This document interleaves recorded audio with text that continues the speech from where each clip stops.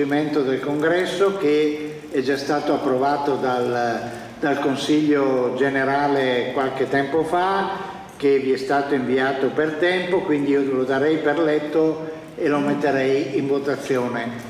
Favorevoli? Siete pregati di alzare la mano o la delega decidete voi. Sulle mani, grazie.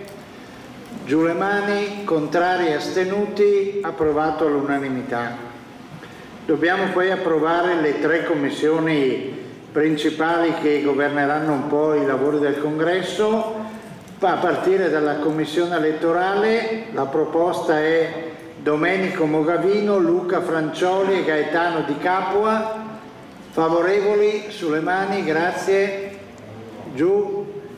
Contrari, astenuti, all'unanimità. La Commissione verifica poteri eh, Mario Gianluca Cavaliere, Simona Baldusso, Antonina Piro, Ida Roveda e Raffaella Valsecchi. Favorevoli sulle mani, grazie. Giù. Contrari, astenuti. La eh, Commissione Mozione Congressuale Maurizio Ferrari, Antonio Buccino, Alessandro Cerioli, Stefano Galli, Alessandro Gattone, sulle mani. Grazie, giù le mani. Eh, contrari, astenuti, approvato alla unanimità. Un altro adempimento che dobbiamo fare è quello di equiparare le cosiddette mezze deleghe, che sono in realtà solo quattro, alle altre intere per evitare ovviamente che si possa riconoscere il voto di questi quattro delegati che se li manteniamo una delega diversa dagli altri sono facilmente identificabili. Per cui vi propongo di equiparare tutte le deleghe a una delega intera. Favorevoli? Sulle mani? Grazie. Giù le mani. Contrari astenuti? All'unanimità. A questo punto gli ospiti, i graditissimi ospiti che sono con noi oggi, li saluteremo li nomineremo come giusto che sia al termine della, della relazione della segretaria generale, però prima di dare la parola a Elena lasciatemi ringraziare per la sua presenza e per essere con noi oggi eh, il segretario confederale Giulio Romani.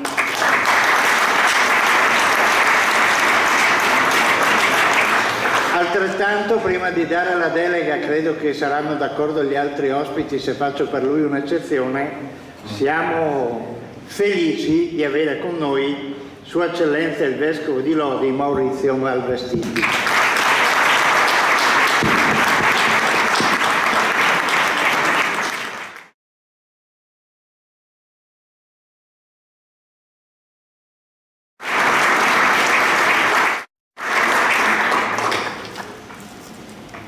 Buongiorno a tutti. Vi ringrazio di cuore di essere qui. È importante avere il vostro appoggio, la vostra presenza e il vostro affetto. Una sala piena di persone è una sala piena di gioia, soprattutto di questi tempi. Quindi grazie.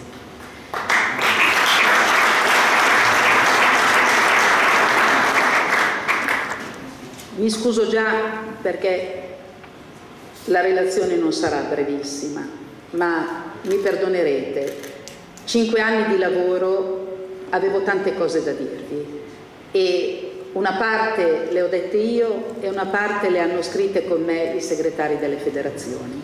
Non mi sono sentita di tagliare i loro interventi importanti, perché sono una parte di me e sono una parte del territorio. Quindi vi prego, abbiate pazienza e ascoltateci, perché siamo tutta la CISL insieme che vi parla. Cari amici, care amiche, gentilissimi ospiti, io vi ringrazio per la presenza e per il contributo che porterete al nostro congresso. Un congresso che si svolge con un anno di ritardo, un anno di ritardo rispetto al previsto e abbiamo bisogno in questo momento di ritrovare il calore almeno virtuale di un abbraccio. Non avremmo mai pensato quando abbiamo concluso il primo congresso della CIS, della CIS Parialodi nel 2017, che negli anni che si prospettavano sarebbero stati così complicati, così difficili, così pieni di incognite e di dolore. Non so con quali armi si combatterà la terza guerra mondiale, ma la quarta la combatteremo con armi fatte di bastoni e di pietre. Lo diceva Einstein, non siamo così distanti da questo pericolo. Mentre è in corso una guerra, la vita negli stati continua, è la modernità che ci insegna a coabitare con i grandi traumi e con i costi che questi comportano. Come CISL guardiamo con apprensione il precipitare degli eventi e ci stringiamo a tutte le vittime inermi di questa guerra, alla numerosa comunità ucraina che vive nelle nostre province. Come ha detto Gandhi, non fa alcuna differenza per i morti, per gli orfani e per i senza tetto se la folle distruzione è coltivata in nome del totalitarismo, in quello santo della libertà o della democrazia, la paura dell'estendersi del conflitto, il terrore che degeneri in una guerra nucleare ci dà la misura di quanto siano fragili le nostre certezze. Come ha detto Papa Francesco, in ogni epoca la pace è insieme un dono dall'alto e il frutto di un impegno condiviso. C'è infatti un'architettura della pace, dove intervengono le diverse istituzioni della società e c'è un artigianato della pace che coinvolge ognuno di noi in prima persona. Tutti possono collaborare a edificare un mondo più pacifico, a partire dal proprio cuore e dalle proprie relazioni di famiglia, nella società, con l'ambiente, fino ai rapporti fra i popoli e fra gli stati. Le vie per la costruzione di una pace duratura sono essenzialmente tre. Prima di tutto il dialogo tra le generazioni, quale base per la realizzazione di progetti condivisi. In secondo luogo l'educazione, come fattore di libertà, responsabilità e sviluppo. Infine il lavoro, per una piena realizzazione della dignità umana. Un lavoro all'insegna della sicurezza, un lavoro giusto, retribuito correttamente noi non possiamo infatti più accettare le morti sul lavoro che rappresentano un bollettino di guerra quotidiano. Si tratta di tre elementi imprescindibili per dare vita ad un patto sociale, senza il quale ogni progetto di pace si rivela inconsistente. Ma prima della guerra ed ora insieme alla guerra c'è stata e c'è la pandemia. Non potremo mai dimenticare che grazie alle capacità di un anestesista dell'ospedale di Codogno che ha saputo con la sua professionalità andare oltre i cosiddetti protocolli, è stato scoperto il primo paziente affetto da Covid-19 nel nostro territorio. La possibilità di contagio in Italia era un'eventualità fino a quel giorno ritenuta assolutamente remota e fantasiosa. Non è certo la prima volta nella storia che si verifica una crisi di tipo pandemico, che riguarda già tutta la popolazione mondiale e che produce drammi e sconquassi inenarrabili sia sanitari che sociali. Si ha memoria di malattie di questo tipo dai tempi della peste di Atene, nel 400 a.C., di cui si stima un impatto in termini di morti di 100.000 persone, e poi la peste di Giustiniano del 500 a.C. con 100 milioni di morti, la peste nera del 1300 con 50 milioni di morti, l'influenza spagnola molto di più ravvicinate nella seconda metà del secolo l'influenza asiatica, l'influenza di Hong Kong, la SARS, l'HIV, l'Ebola e poi il Covid-19. Il Covid-19 ha fatto 6 milioni di morti fino ad oggi stimati, di cui 160.000 in Italia e ben 39.000 in Lombardia. Eppure anche in questo frangente è come se fosse la prima volta.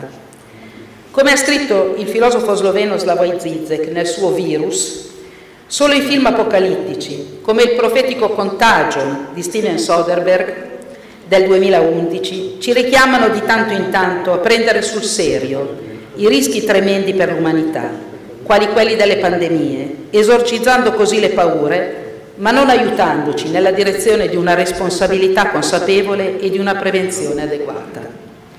Certo, a due anni di distanza dall'inizio del dramma, per molti versi ci sentiamo consapevoli e attrezzati di fronte alla pandemia, per usare le parole di Paolo Giordano in un articolo di Repubblica. Nonostante le voci critiche, spesso decisamente poco obiettive e ingenerose, e le inevitabili eccezioni del caso, va riconosciuto che la società italiana nel suo complesso ha accettato e vissuto con responsabilità il lockdown, rispettando il distanziamento sociale e cercando di sostenere una ripresa molto difficile. Soprattutto la sanità ha dato prova di grande resilienza, con la sua indefessa sollecitudine del personale, con la costruzione in tempi di record di nuovi reparti di terapia intensiva, con lo sprint nelle ricerche sui vaccini anti-Covid e con la progressiva messa a punto delle terapie. È la prima volta, in sostanza, che grazie ai progressi compiuti dalla scienza medica vengono messi in campo strumenti di sorveglianza, monitoraggio e contrasto di portata enorme e globale.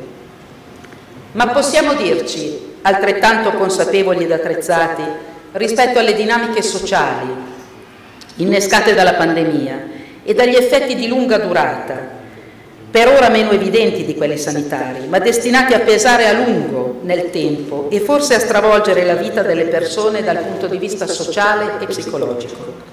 A ben vedere, le questioni più rilevanti che la società si è trovata ad affrontare sono quelle sociali e psicologiche, che si sono sviluppate all'interno delle abitazioni e tra le persone nel periodo del lockdown e che oggi sussistono in regime di distanziamento fisico ancora parzialmente in atto. Abbiamo infatti vissuto involontariamente una sorta di esperimento sociale anomalo e totalmente inedito, che mai avremmo avuto il coraggio di affrontare se non ci fossimo stati costretti da un'emergenza eccezionale. L'esperimento, cui hanno dovuto partecipare, loro malgrado tutti nessuno escluso, è consistito nella sospensione del tempo, della mobilità, dei contatti umani e sociali, esterni alla propria abitazione, sia che si abiti da soli, sia che si viva con i propri familiari, sicuramente siamo stati tutti colti da una sensazione di profondo stupore rispetto al silenzio delle strade, alle immagini delle città vuote, alla solitudine diffusa. Una sconosciuta e una prova dura che ci ha posto di fronte a una realtà sconosciuta e articolata secondo almeno tre tipologie. Quella della solitudine totale per alcuni, quella del contatto obbligato e continuo con i propri familiari o conviventi in spazi in qualche caso ristretti e quella dell'interruzione delle relazioni amicali, scolastiche e lavorative per tutti. Abituati come eravamo a vivere vite disordinate e frettolose, distratti da mille stimoli spesso superficiali, chat, media, informazioni, pubblicità, divertimenti, la situazione anomala ci ha messo di fronte in maniera inusuale alla nostra intimità psichica e dal vissuto più profondo delle nostre relazioni sentimentali, interpersonali e sociali. Il silenzio e la solitudine sono diventati uno spazio vuoto nel quale si sono moltiplicati il disagio esistenziale, l'insicurezza e la paura. Paura della malattia, ma anche paura del proprio caos interiore, con i suoi contenuti sia di tipo emozionale, ansia, depressione, preoccupazione per i propri cari, che di tipo razionale, scelte da compiere, analisi critica del proprio vissuto, del proprio impegno lavorativo, compiti da assolvere, paura per il proprio lavoro e per il proprio futuro. E non è passata inosservata l'impreparazione di fronte al venir meno degli spazi di intrattenimento e di occupazione del cosiddetto tempo libero. È il tema della solitudine dell'uomo moderno, calato in una realtà sociale densa e massificata, che ci vede in gran parte soli nella moltitudine. Le famiglie con bambini sono state e sono in grande difficoltà sia laddove i genitori attrezzati culturalmente ed economicamente pronti hanno trasformato la casa in una classe di scuola o di asilo nido, sia laddove la carenza di adeguate risorse umane e materiali ha provocato ripercussioni di vario genere sull'equilibrio psicologico e sociale dei soggetti più deboli. Lo sforzo enorme prodotto da molti insegnanti in termini di didattica a distanza è encomiabile e deve farci capire quanto sia importante un uso intelligente delle tecnologie informatiche. Ma non vi è dubbio che il dramma della solitudine ha assunto nei mesi di lockdown più rigido proporzioni inaudite e in aggiunta è noto ormai che il disagio profondo ha innescato un aumento vertiginoso di richieste di aiuto ai centri psichiatrici e antiviolenza che nelle case rifugio i posti disponibili sono esauriti e che le vittime di violenza domestica sono in costante aumento.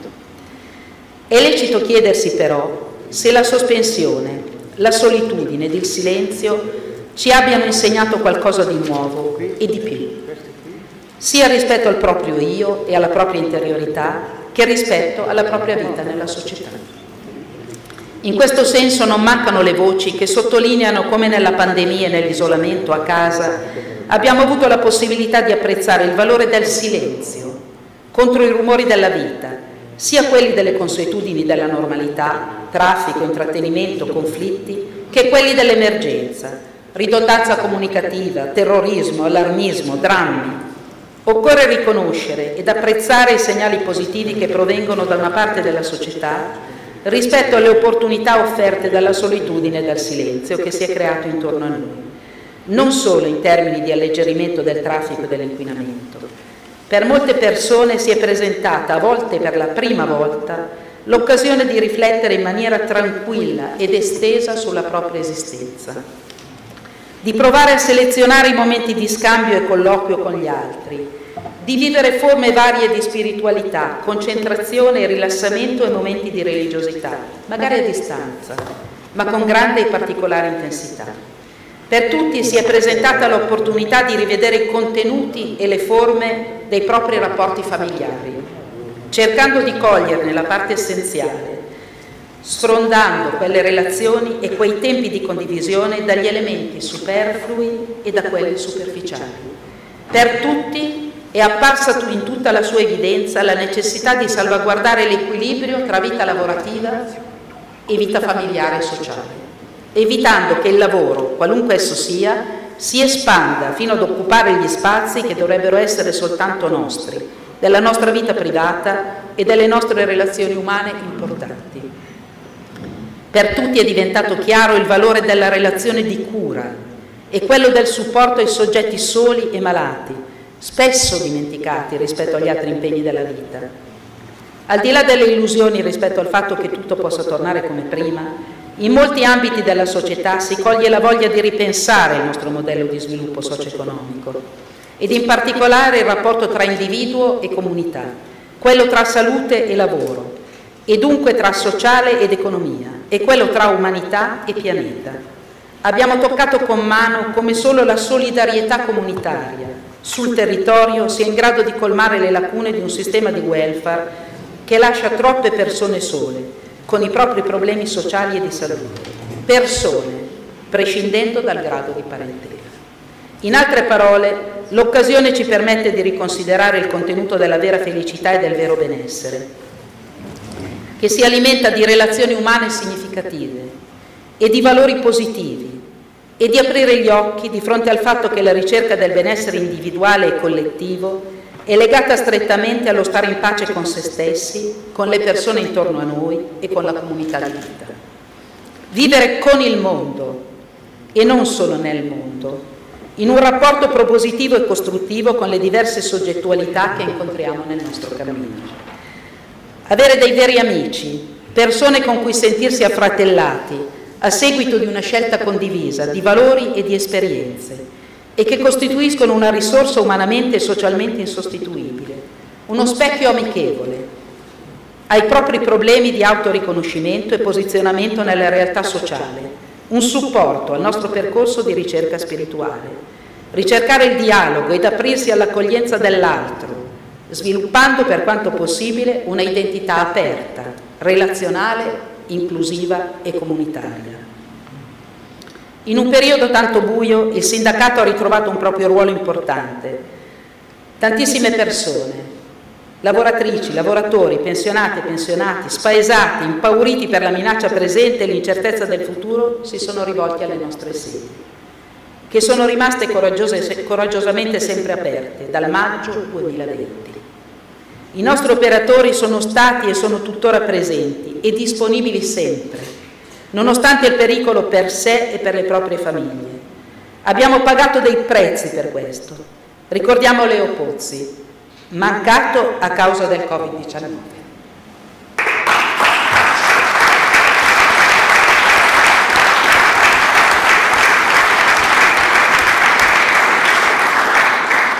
Ma anche tutti i nostri operatori che si sono ammalati e per fortuna sono guariti, a volte non senza conseguenze successive. In tutti noi CISL le persone hanno trovato aiuto, consiglio, conforto e spiegazioni rispetto ai loro dubbi, al loro malessere. Hanno trovato prima di tutto una presenza, hanno trovato umanità, comprensione, accoglienza. In una parola abbiamo fatto davvero sindacato, nel senso etimologico del termine, insieme e giustizia. E quando si uniscono concetti di insieme e di giustizia, le donne e gli uomini sono capaci di azioni ideali e concrete assolutamente meravigliose. La crisi sanitaria ha imposto un'accelerazione nel percorso di ripensamento degli strumenti della governance economica dell'Eurozona, avviato nello scorso decennio con un significativo cambio di passo. Da discussioni e proposte di modifica che riguardavano singoli aspetti degli strumenti esistenti, quali la riforma del meccanismo europeo di stabilità, il cosiddetto MES, e delle dimensioni e modalità di utilizzo dei fondi che componevano il bilancio europeo, il dibattito e le azioni intraprese a livello europeo sembrano configurare innovazioni radicali, riguardanti una pluralità di settori e con valorizzazione di principi, segnatamente solidarietà e sussidiarietà, che nella reazione europea alla crisi finanziaria erano invece rimasti sotto traccia.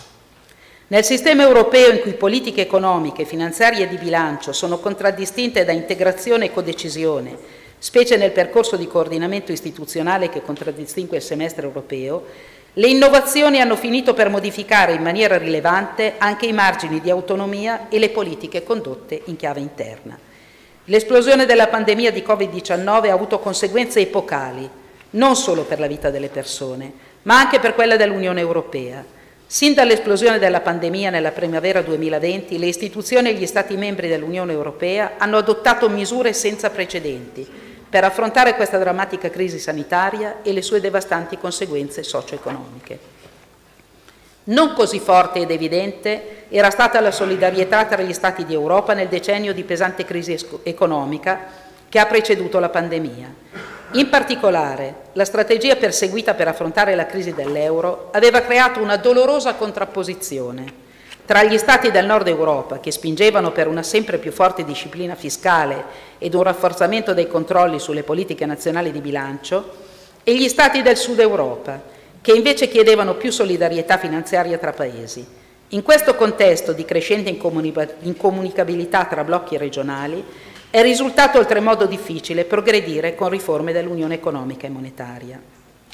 L'esplosione della pandemia di Covid-19 ha costituito una sfida senza precedenti che l'Unione Europea, come affermato per l'Unione Europea, come affermato dall'ex presidente della BCE Mario Draghi, la pandemia si è immediatamente dimostrata una tragedia umana di potenziali proporzioni bibliche sebbene gli Stati membri dell'UE, in una fase iniziale della pandemia, si siano focalizzati prevalentemente sul contenimento dei contagi.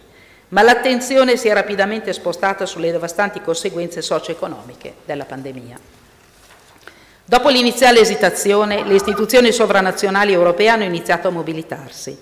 Nel marzo 2020 la Commissione europea ha sospeso l'applicazione delle regole sugli aiuti di Stato, concedendo ampio margine di manovra agli Stati membri per sostenere imprese in difficoltà. In aggiunta la Commissione ha per la prima volta anche attivato la clausola di emergenza del patto di stabilità e di crescita, proponendo di sospendere temporaneamente l'operatività delle regole fiscali europee. Allo stesso tempo la Commissione ha attivato il Fondo europeo di solidarietà per fornire assistenza finanziaria immediata agli Stati più colpiti dalla pandemia e ha altresì messo in piedi un'iniziativa di investimento di risposta a Covid-19 ridirezionando 37 miliardi di euro disponibili come riserva nei fondi strutturali e di investimento europei verso spese legate all'emergenza di Covid-19. Infine, la Commissione europea ha proposto l'istituzione di uno strumento europeo di sostegno temporaneo per attenuare i rischi di disoccupazione nello stato di emergenza di Covid-19, noto di inglese come Fondo SURE il quale ha introdotto un meccanismo di supporto da parte dell'Unione Europea ai sistemi nazionali di cassa integrazione per lavoratori sulla base di prestiti garantiti da impegni nazionali. Nei primi mesi della pandemia il Consiglio europeo ha avuto difficoltà a concordare una linea di azione comune. Gli Stati membri si sono profondamente divisi su quali nu nuove misure di politica economica mettere in piedi per affrontare la crisi pandemica e rilanciare l'economia europea. In particolare il 25 marzo 2020 un gruppo di nove paesi dell'Eurozona, Belgio, Francia, Grecia, Irlanda, Italia, Lussemburgo, Portogallo, Slovenia e Spagna, hanno richiesto in una lettera al Presidente del Consiglio europeo che l'Unione Europea iniziasse a lavorare su uno strumento di debito comune, emesso per raccogliere fondi sul mercato sulle stesse basi e a vantaggio di tutti gli Stati membri, garantendo così un finanziamento stabile a lungo termine per le politiche necessarie a contrastare i danni causati da questa pandemia. Tuttavia, Germania e Olanda hanno fermamente rigettato questa proposta, ritenendola un tentativo inaccettabile di mutualizzazione del debito ed hanno proposto invece di ricorrere al MES per rispondere all'impatto economico della pandemia. Nonostante le divisioni, il 27 maggio 2020 la Commissione europea ha presentato un'ambiziosa proposta per un piano di rilancio europeo finalizzato a riparare i danni economici della crisi sanitaria e a preparare l'Unione europea per la prossima generazione, rafforzandone la resilienza. Nel suo piano la Commissione ha proposto di aumentare le risorse dell'Unione europea, incrementando il quadro finanziario pluriennale 2021-2027 e creando in aggiunta a quest'ultimo un nuovo fondo per la ricostruzione, noto come Next Generation EU, del valore di 750 miliardi di euro, specificamente finalizzato a supportare gli Stati membri e le loro imprese, colpite dalla pandemia di Covid-19 in particolare la Commissione ha proposto questo nuovo strumento europeo per la ripresa e ha proposto uno strumento strutturato in modo totalmente innovativo. Alla fine, dopo estenuanti negoziazioni per ottenere l'unanimità necessaria, la proposta Next Generation EU ha visto la luce, ha ridotto la componente delle sovvenzioni del Fondo per la ripresa a circa 338 miliardi e ha fissato la componente di prestiti a circa 390 miliardi. La pandemia di Covid-19 ha rappresentato uno spartiacque, non solo per la vita di milioni di europei, ma anche per il destino della stessa Unione Europea.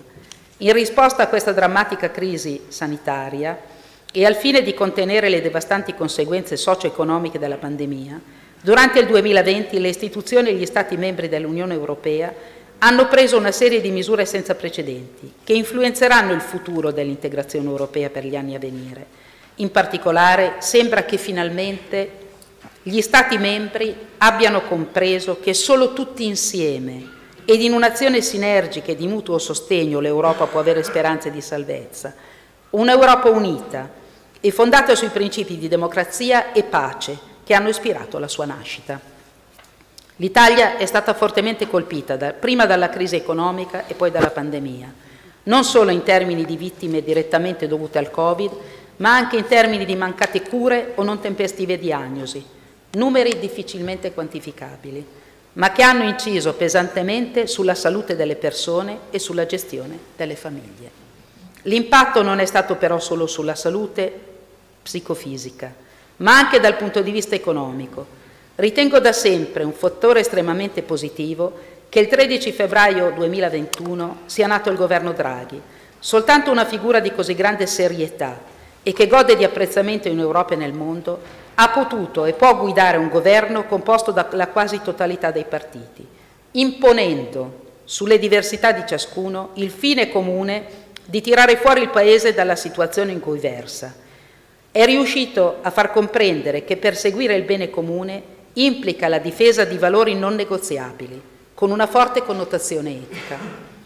I rapporti delle organizzazioni sindacali con il governo Draghi sono fondati su un significativo cambio di passo rispetto ai due governi precedenti.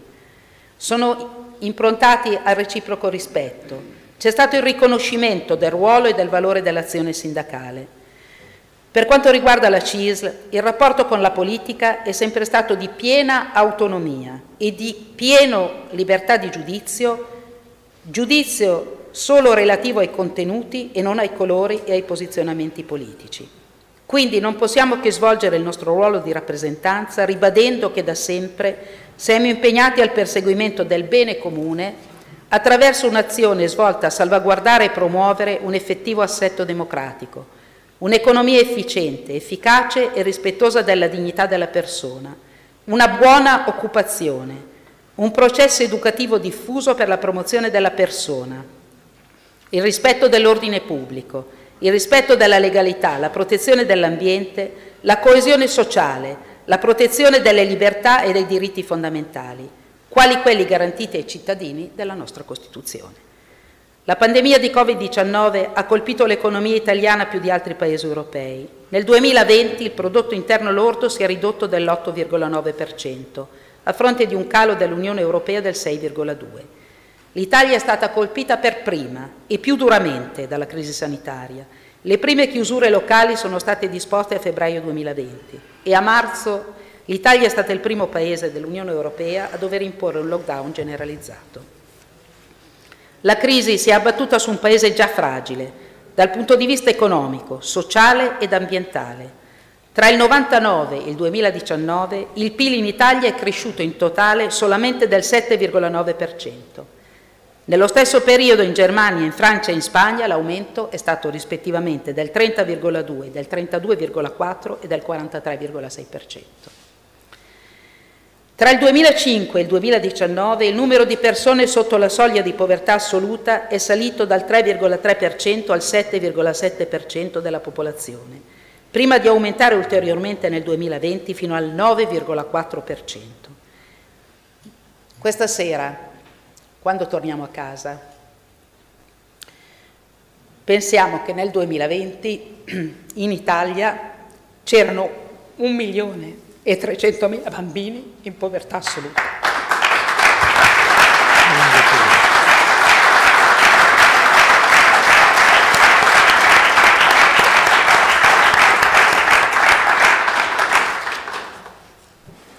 Ad essere maggiormente colpiti sono stati donne e giovani. L'Italia è il paese dell'Unione Europea con il più alto tasso di ragazzi tra i 15 e i 29 anni non impegnati nello studio, nel lavoro e nella formazione, i cosiddetti NEET.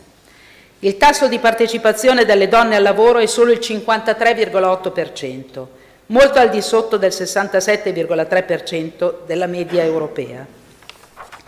Questi problemi sono ancora più accentuati nel Mezzogiorno, dove il processo di convergenza con le aree più ricche del Paese è ormai fermo.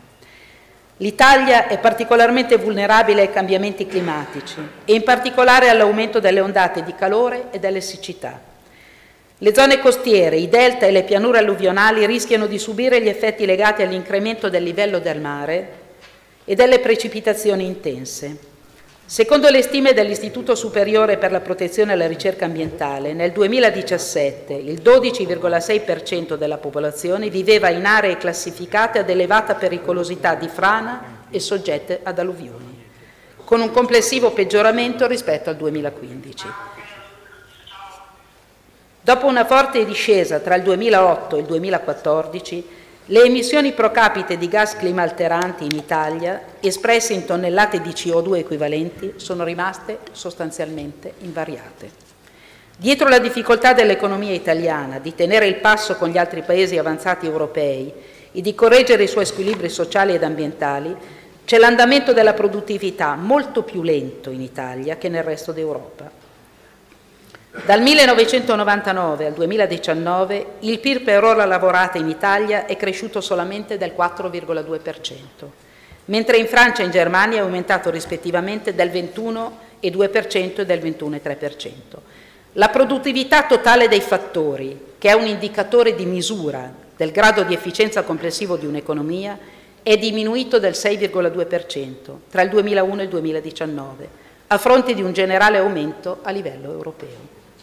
Tra le diverse cause del deludente andamento della produttività c'è ad esempio l'incapacità di cogliere le molte opportunità legate alla rivoluzione digitale.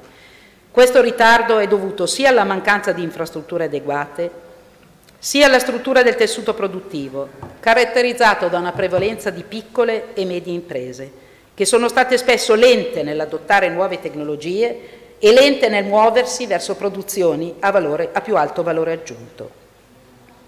La scarsa familiarità con le tecnologie digitali caratterizza anche il settore pubblico. Prima dello scoppio della pandemia, il 98,9% dei dipendenti dell'amministrazione pubblica in Italia non aveva mai utilizzato il lavoro agile. Anche durante la pandemia, a fronte di un potenziale di tale modalità di lavoro del 53%, l'utilizzo effettivo è stato del 30%, con livelli più bassi di circa 10 punti percentuali nel mezzogiorno. Questi ritardi sono in parte legati al calo degli investimenti pubblici e privati, che ha rallentato i necessari processi di modernizzazione della pubblica amministrazione, delle infrastrutture e delle filiere produttive. Nel ventennio 1999-2019 gli investimenti totali in Italia sono cresciuti del 66%, a fronte del 118% nella zona euro. In particolare, mentre la quota di investimenti privati è aumentata, quella degli investimenti pubblici è diminuita. Un altro fattore che limita il potenziale di crescita dell'Italia è la relativa lentezza nella realizzazione di alcune riforme strutturali. Nonostante i progressi degli ultimi anni, permangono ritardi eccessivi nella giustizia civile. In media sono necessari oltre 500 giorni per concludere un procedimento civile di primo grado. Le barriere di accesso al mercato restano elevate in diversi settori, in particolare le professioni regolamentate. Tutto ciò ha un impatto negativo sugli investimenti e sulla produttività. Questi problemi rischiano di condannare l'Italia a un futuro di bassa crescita, da cui sarà sempre più difficile uscire. La storia economica recente dimostra tuttavia che l'Italia non è necessariamente destinata al declino. Nel secondo dopoguerra, durante il miracolo economico, il nostro Paese ha registrato tassi di crescita del PIL e della produttività tra i più alti di Europa. Tra il 1950 e il 1973 il PIL per abitante è cresciuto in media del 5,3% l'anno, la produzione industriale dell'8,2% e la produttività del lavoro del 6,2%. In poco meno di un quarto di secolo l'Italia ha portato avanti uno straordinario processo di convergenza verso i paesi più avanzati. Tassi di crescita così eccezionali sono legati ad aspetti peculiari di quel periodo, in primo luogo la ricostruzione post-bellica e l'industrializzazione di un paese ancora in larga parte agricolo, ma mostrano anche il ruolo trasformativo che investimenti, innovazione e apertura internazionale possono avere sull'economia del nostro Paese. Per l'Italia la Next Generation EU rappresenta un'opportunità imperdibile di sviluppo, investimenti e riforme. L'Italia deve modernizzare la sua pubblica amministrazione, rafforzare il suo sistema produttivo e intensificare gli sforzi nel contrasto alla povertà, all'esclusione sociale e alle disuguaglianze. Il Next Generation EU può essere l'occasione per riprendere un percorso di crescita economica sostenibile e duraturo, rimuovendo gli ostacoli che hanno bloccato la crescita italiana negli ultimi decenni. L'Italia è la prima beneficiaria in valore assoluto dei due principali strumenti del Next Generation EU, il dispositivo per la ripresa e resilienza e il pacchetto di assistenza alla ripresa per la coesione dei territori d'Europa. Il solo fondo di ripresa e resilienza garantisce risorse per 191,5 miliardi di euro da impiegare nel periodo 2021-2026, delle quali 68,9 miliardi sono sovvenzioni a fondo perduto. L'Italia intende inoltre utilizzare appieno la propria capacità di finanziamento tramite i prestiti del Fondo di ripresa e resilienza, che nel nostro Paese è stimato in 122,6 miliardi. il dispositivo di ripresa e resilienza richiede agli Stati membri di presentare un pacchetto di investimenti e riforme.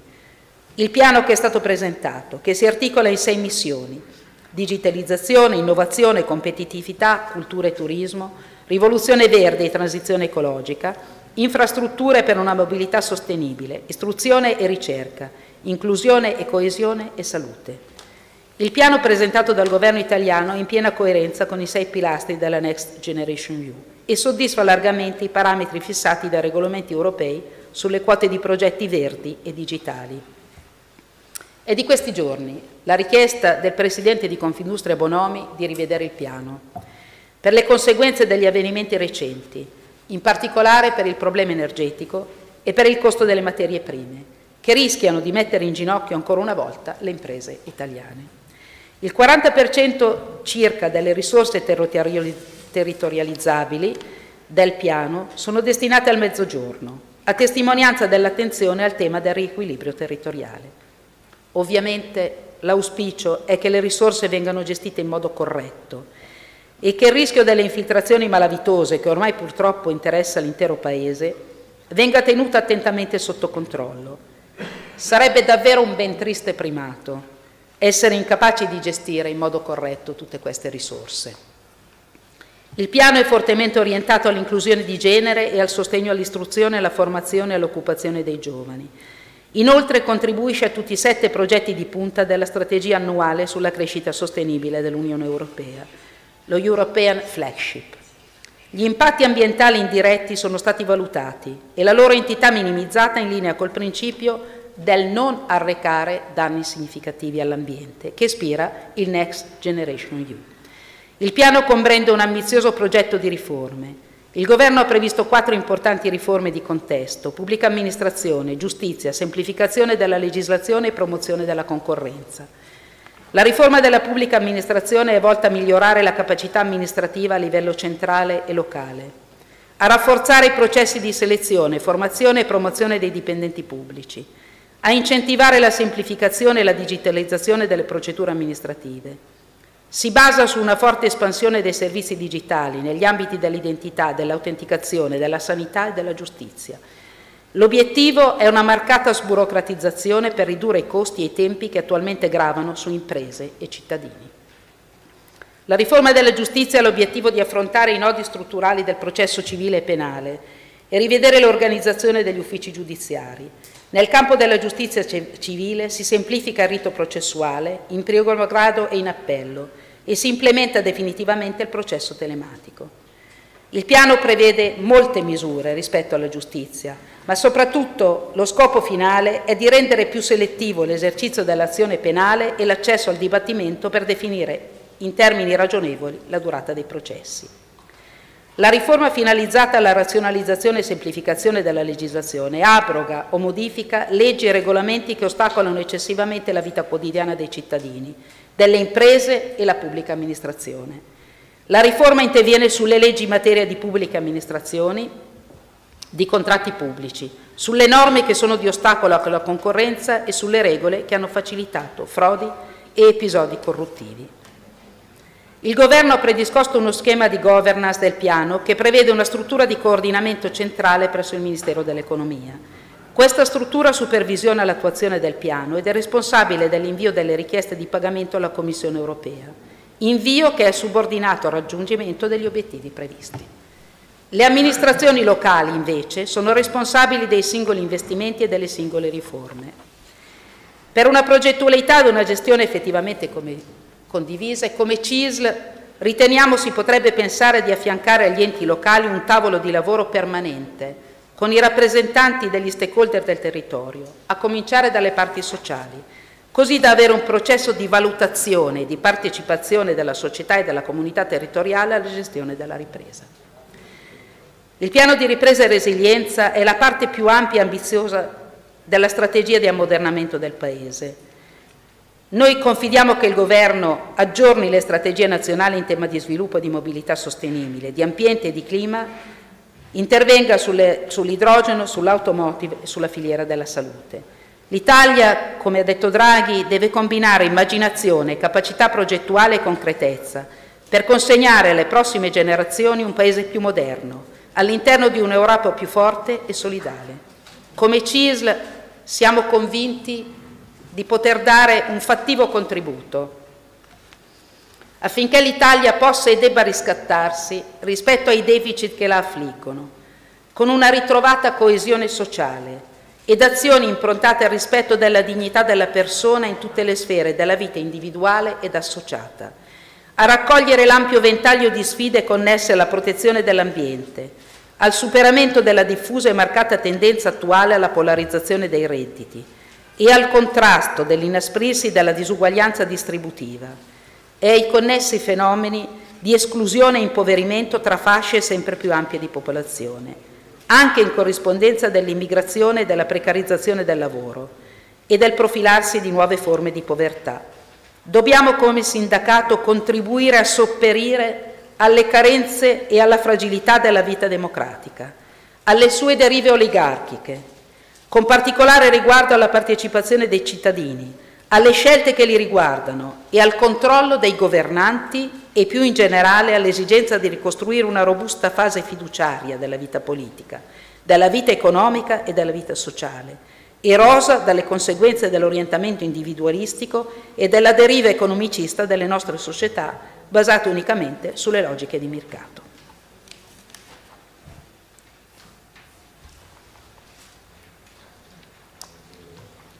Il nostro territorio, esaminare per conoscere, conoscere per progettare. Come si evince dalla ricerca che abbiamo pubblicato, curata dal professor Montanari, che ringrazio, come ringrazio per i loro preziosi contributi il nostro segretario regionale Duci, il presidente della provincia Giovanni, di Pavia Giovanni Palli, il presidente della provincia di Lodi Francesco Passerini e don Franco Tassone, da sempre nostro guida spirituale e punto di riferimento, nelle province di Pavia e di Lodi è fondamentale compiere uno sforzo collettivo per guardare oltre l'emergenza e condividere un piano strategico di rilancio la CISPA Via Lodi lancia con questo studio una proposta di dialogo e di confronto rivolto a tutti gli altri attori dell'ecosistema istituzionale, sociale ed economico del territorio pavese e lodigiano. Ognuno con le proprie competenze e progettualità, secondo il proprio ruolo, poiché è fondamentale un lavoro di squadra che unisca le forze di tutti. Questa indagine non ha pretesa diversa da quella di costituire una base di riflessione perché la conoscenza diventa consapevolezza dei contesti e delle situazioni e quindi capacità di comprendere la complessità, il reale e prefigurare il cambiamento. L'indagine ci restituisce un'immagine di un territorio, sia pavese che lodigiano, che ha faticato a riprendersi dalla crisi 2009-2019, che ha patito fortemente per la pandemia, che stava orgogliosamente rialzando la testa, ma che ora rischia con il rincaro delle materie prime e il costo esorbitante dell'energia e dei carburanti di dover rimettere in discussione le previsioni sul, sul consolidamento della ripresa e dell'occupazione. Come sempre ho chiesto alle federazioni di condividere con la segreteria confederale un quadro della situazione settore per settore. Solo chi vive e opera sul campo percepisce e conosce i problemi e le criticità. Quindi questa parte della relazione è frutto di un lavoro collettivo, di cui vado orgogliosa, perché è solo nella condivisione che il sindacato confederale e quello di categoria possono fare passi in avanti. Settore per settore cercherò di darvi un quadro locale della situazione, così come viene percepita dalla CISL e dalle sue federazioni, sulla base della costante frequentazione delle aziende, dell'ascolto delle delegate e dei delegati, delle lavoratrici e dei lavoratori impiegati nei diversi comparti e dai rapporti con le associazioni datoriali. Per quanto riguarda il settore agroalimentare, significativo sia nella provincia di Pavia sia, nel, sia nella provincia di Lodi, gli ultimi, so, gli ultimi quattro anni in cui sono state dilapidate certezze e introdotte precarietà, sia nel settore agricolo che in quello dell'industria alimentare, si sono avute profonde trasformazioni che hanno accentuato le fragilità delle aziende e modificato il mercato del lavoro. Nel, nel 2021 la situazione è migliorata, consentendo anche una ripresa delle relazioni sindacali e la sottoscrizione di accordi territoriali sia a Pavia sia a Lodi, che consentono di guardare al futuro con più fiducia. L'agricoltura pavese e lodigiana hanno bisogno di manodopera, operai specializzati, giovani che sappiano maneggiare le nuove tecnologie, ma anche operai generici. Il mismatch tra domanda e offerta di lavoro è un problema che si presenta in molti settori. Fatto paradossale se si pensa al fortissimo numero di giovani che non trovano alcuna collocazione nel mondo del lavoro. I consorzi di bonifica e la difesa dei diritti dei lavoratori del settore dovranno avere un ruolo preeminente nella nuova strategia green dell'economia e andranno inseriti all'interno di politiche che promuovano un'azione integrata dei diversi interessi gravanti sulle risorse idriche, per favorire anche in Italia una transizione sostenibile. Per quanto riguarda l'industria alimentare, durante la pandemia la crescita degli ordinativi è stata a volte abnorme, con conseguente crescita esponenziale dei fatturati. Per le aziende e i caseifici che invece rifornivano il canale Oreca, hotel, ristoranti, bar e mense, che è stato chiuso totalmente per buona parte dell'anno, si è dovuto ricorrere più volte alla cassa integrazione Covid. Ora il settore dell'industria alimentare si è totalmente ripreso, ad eccezione di alcune aziende di trasformazione del pollame a causa della viaria presente in alcuni stati esteri. Sicuramente il settore ha visto mantenere e crescere l'occupazione, ma, come in tutti i settori, una occupazione a tempo determinato fatta di somministrati e di precarietà. Noi auspichiamo che invece nel futuro si possano stabilizzare queste persone. Per quanto riguarda il comparto della chimica, dell'energia, del tessile e della moda, quest'ultimo della moda è sicuramente il più colpito dalla crisi, nel Pavese e nell'Odigiano. In particolare il settore calzaturiero presente nell'alta provincia di Pavia. Nel corso di questi anni abbiamo assistito ad un impoverimento industriale ed occupazionale di questo importante settore della moda e di tutta la sua filiera, composta da micro aziende artigiane. Nonostante il calzaturiero possa essere considerato uno dei pilastri del Made in Italy, in grado di rappresentare al meglio la nostra capacità di realizzare prodotti apprezzati in tutto il mondo, il settore si trova di fronte a un difficile percorso di consolidamento, per rafforzare il proprio posizionamento e ripartire per avviare una nuova fase di crescita.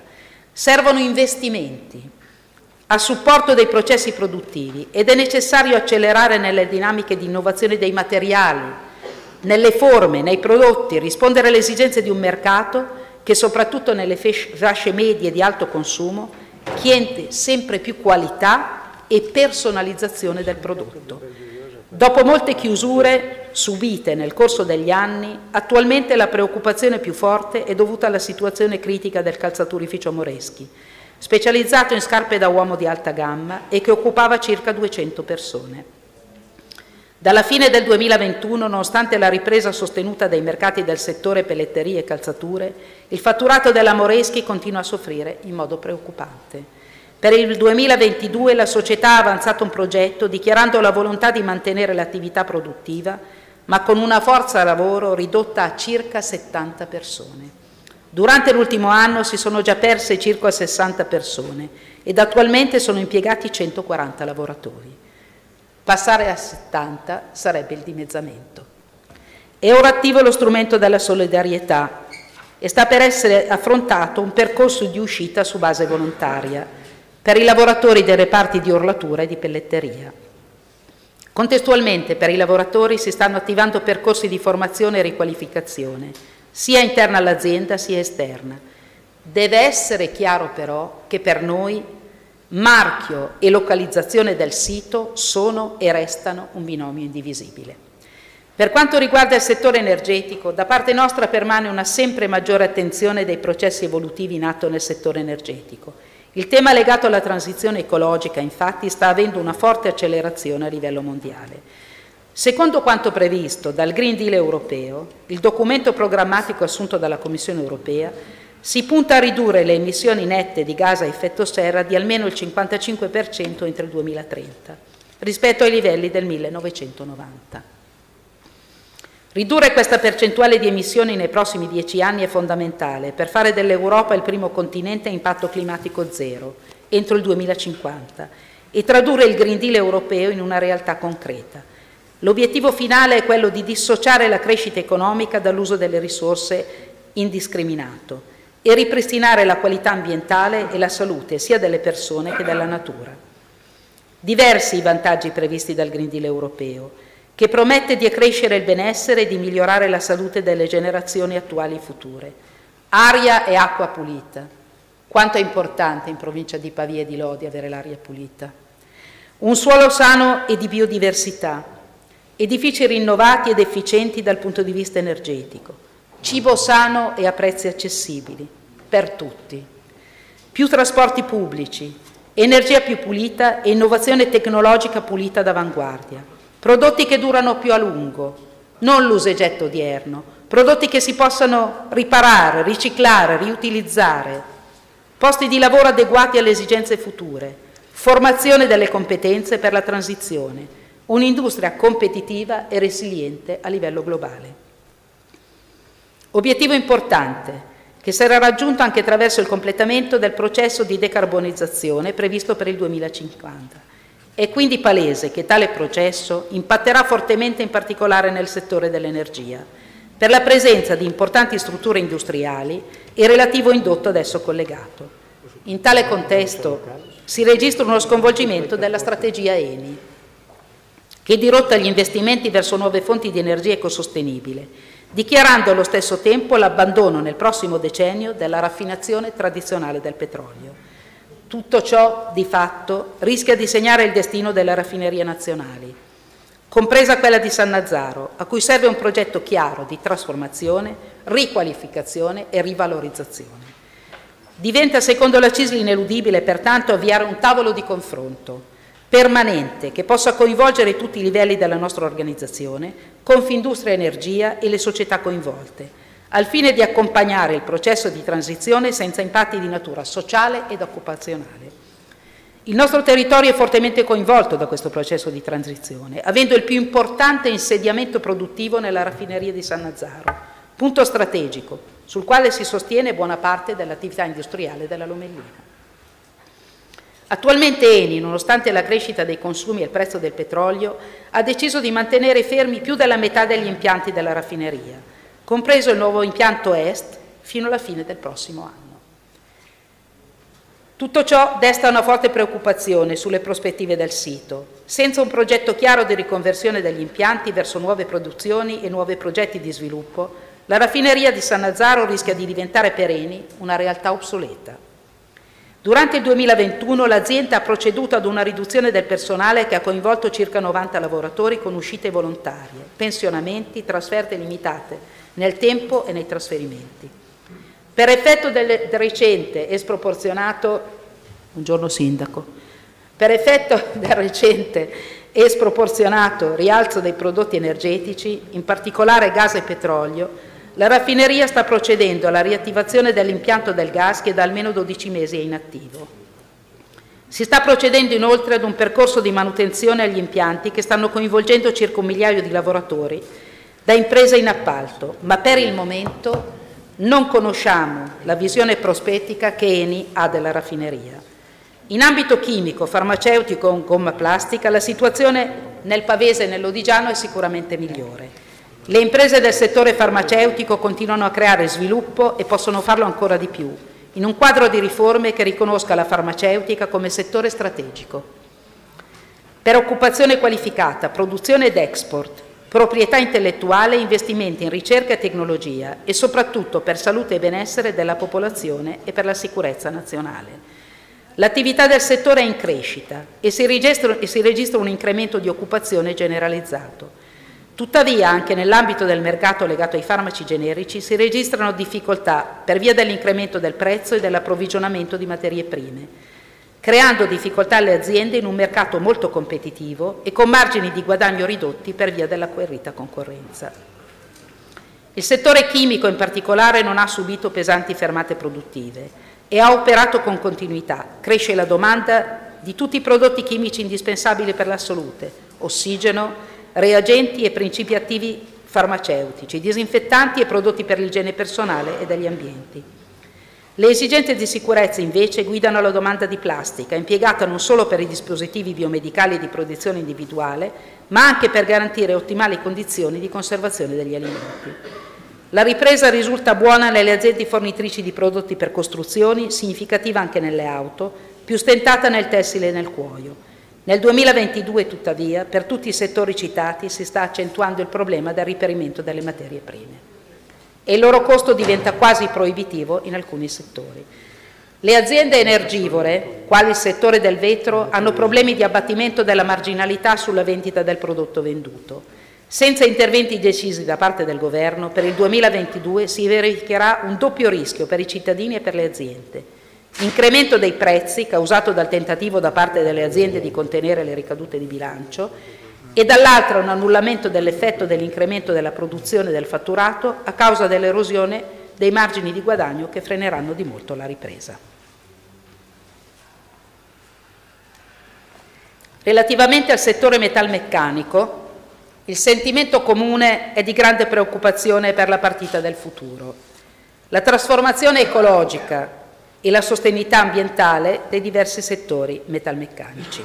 Ad esempio, il passaggio verso l'auto del futuro, elettrica, ibrida, ad idrogeno, con motori endotermici, a basso consumo, ci interroga sul futuro degli addetti al settore. Le profonde trasformazioni industriali che occorrono per salvaguardare i posti di lavoro nel comparto automotive staranno tutte nella capacità delle industrie del convertirsi e passare dalle vecchie tecnologie legate ai motori a scoppio al cambiamento epocale della nuova componentistica. È però necessario un preciso piano industriale. È indispensabile il supporto tecnologico per la piccola e media industria. Serve una linea di credito per gli investimenti, così come sono stati previsti in altri settori. È fondamentale però che insieme ad un ripensamento dell'industria e del settore ci sia una puntuale riqualificazione delle lavoratrici e dei lavoratori, per renderli in grado di proseguire il proprio lavoro con le conoscenze e le competenze necessarie e di essere veramente partecipi dei cambiamenti e delle trasformazioni. Come CISL abbiamo un obiettivo ambizioso. Puntiamo a realizzare il coinvolgimento paritetico dei lavoratori come strumento realizzato mediante schemi organizzativi che permettano di coinvolgere in modo diretto e attivo i lavoratori, da un lato nei processi di innovazione e di miglioramento delle prestazioni aziendali, con incrementi di efficienza e produttività, e dall'altro nel miglioramento delle qualità della vita e del lavoro. Il settore dell'edilizia ha visto, dopo anni bui della crisi del 2009, una netta ripresa. I timori per il settore legati all'emergenza sanitaria non si sono per fortuna concretizzati. Nel 2020 la massa salari in cassa edile di Pavia si è ridotta solo del 12%, a fronte di una previsione ben più amara intorno al 35%. Il, 20, il 2021 e gli inizi del 2022 hanno visto e vedono una crescita costante della massa salari e del numero degli occupati, grazie soprattutto al volano del bonus edilizi e per il futuro, speriamo, anche del PNRR. Il vero problema oggi in edilizia è quello della sicurezza. Troppi infortuni e troppe morti. C'è molto da fare per fermare questa scia negativa. La FILCA, unitamente alla CISL, ha proposte concrete per il problema della sicurezza. Per esempio, rendere penalmente perseguibili le imprese presso le quali si verifichino incidenti sul lavoro se, in modo comprovato, si siano dimostrate poco attente alla sicurezza dei propri lavoratori. La patente a punti per le imprese, punti che vengano scalati al verificarsi di infortuni fino all'esaurimento che dovrebbe portare persino in casi gravi al blocco delle attività. Il settore del cemento in provincia di Pavia è ormai scomparso, con la chiusura della Italcementi. Stesso discorso può essere fatto per il settore lapideo. Sopravvive solo qualche cava in provincia di Pavia, qualcuna in provincia di Lodi. Una delle aziende del settore che noi seguiamo con attenzione è la Marmi Lodi. Altra nota dolente è quella del settore dei laterizi.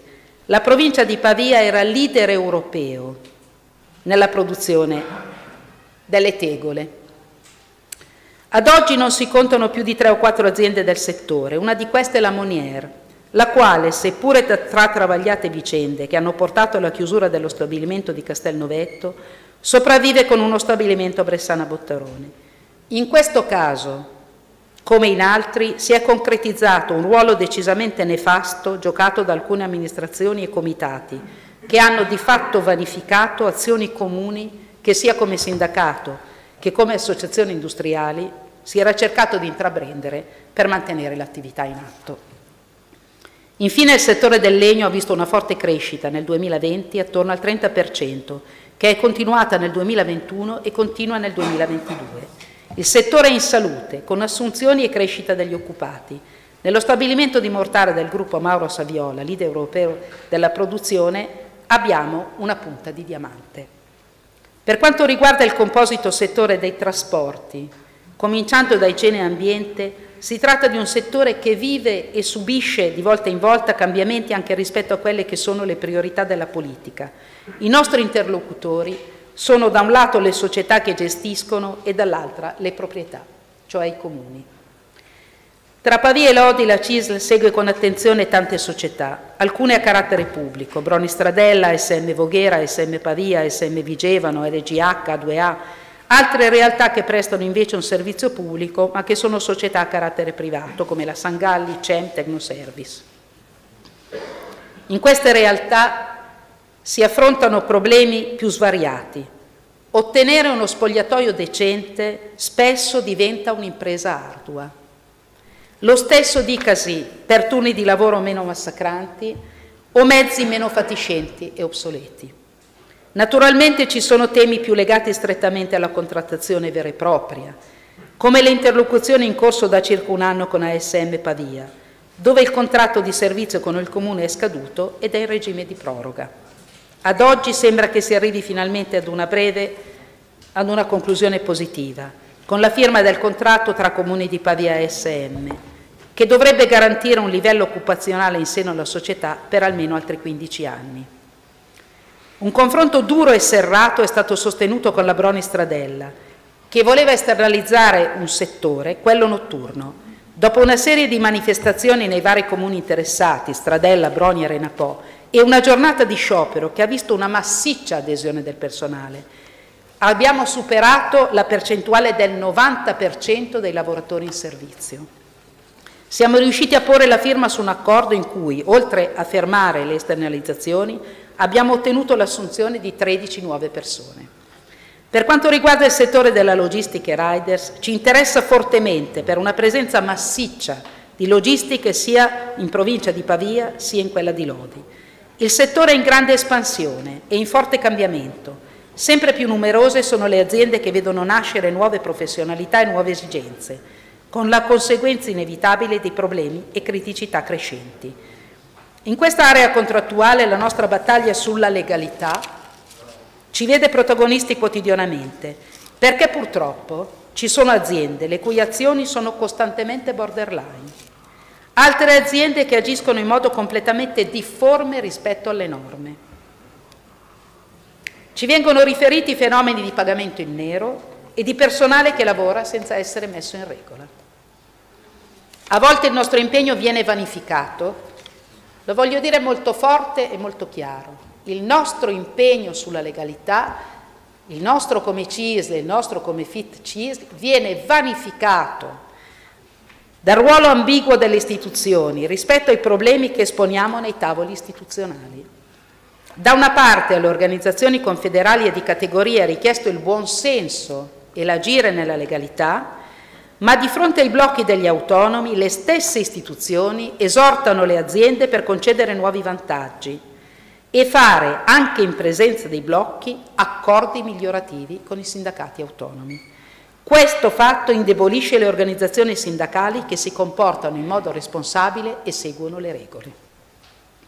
Il settore della logistica è inoltre interessato da un particolare fenomeno di smaterializzazione del lavoro, il quale, se da una parte contribuisce alla scomparsa di tradizionali segmenti lavorativi, dall'altra causa la nascita di nuovi ambiti di mercato non sempre regolamentati. La crescita occupazionale che riguarda questo comparto si concentra in massima parte in attività a basso valore aggiunto e, inter interessati da una crescente e preoccupante compressione del costo del lavoro. Posti di lavoro nel quali vengono spesso impiegati immigrati e giovani a basso costo del lavoro. Si tratta del fenomeno dei riders e dei ciclofattorini, che rappresentano una porzione di economia digitale e di lavoro su piattaforma, il quale conta oltre un milione di lavoratori. In gergo si chiama il crowd working, ossia il lavoro nella folla, quello che associa alla massa indistita dei lavoratori un algoritmo, un'app, sullo smartphone o su un sito internet. In sostanza, che cos'è? Si lancia una proposta di servizio di una prestazione professionale nell'universo sconfinato di Internet in attesa che qualcuno lo trovi interessante. Si tratta purtroppo di una selva di aziende non sindacalizzate che trovano posto nella fascia più bassa del mercato del lavoro e che anche per questo prediligono forme anomale di relazione sindacale, quando non optano addirittura per il lavoro irregolare. Il nostro obiettivo è dunque quello di entrare in questa realtà, con cognizione e senza pregiudizio, per trasformare la folla di lavoratori in una comunità consapevole ed organizzata.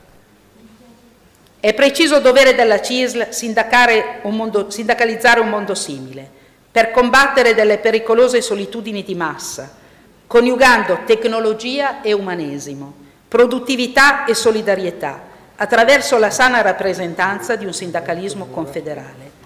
Una delle costanti di questo settore è sicuramente il continuo uso del cambio appalto. Mediamente tra Pavia e Lodi ci troviamo di fronte a tre cambi appalto al mese. Vi sono state situazioni limite come Marzano, dove nel 2019, nei primi nove mesi, si sono fatti ben sette cambi di appalto. Siamo, di fronte, siamo in questo momento in prima linea con HTS, la società che fornisce le consegne dei prodotti a McDonald's, dove stiamo rivedendo l'accordo di secondo livello che vale per le tre realtà Massalengo, Bonporto e Monterotondo. Un accordo complicato, perché è necessario coniugare le esigenze di tre territori diversi che svolgono la medesima attività, pur con peculiarità proprie. Anche su questa partita, dopo mesi di confronto, possiamo dire che siamo finalmente addirittura d'arrivo. I comparti ferrovie e trasporto pubblico locale hanno rappresentato e rappresentano tuttora un punto nevralgico di una società moderna come vuole essere la nostra. Lì siamo molto forti, ma dobbiamo molto lavorare. Un punto dolente per noi è il trasporto pubblico locale, dove sicuramente si ha bisogno di una maggiore caratterizzazione delle trattative a livello territoriale. Bisogna saper portare sui territori la trattativa per ottenere risultati. In autoguidovie facciamo sentire la presenza del sindacato per quanto concerne il bacino padese ci troviamo tuttavia di fronte a un'azienda che cerca in tutti i modi di evitare il confronto territoriale, necessario invece a nostro modo di vedere per la discussione di alcuni temi propri del territorio. Il riferimento è sicuramente ai turni di lavoro, per i quali spesso si osserva una modalità operativa di chi si nasconde dietro un'emergenza sistematica. È indispensabile, lo diciamo anche a livello nazionale che ci ascolta, che deve intervenire dove può, è indispensabile la sottoscrizione di un nuovo protocollo di relazioni industriali, imperniato sulla possibilità di interazione del comparto sindacale territoriale. In autoguidovie, insieme a CGL e FAISA, abbiamo in atto un'avvertenza molto forte.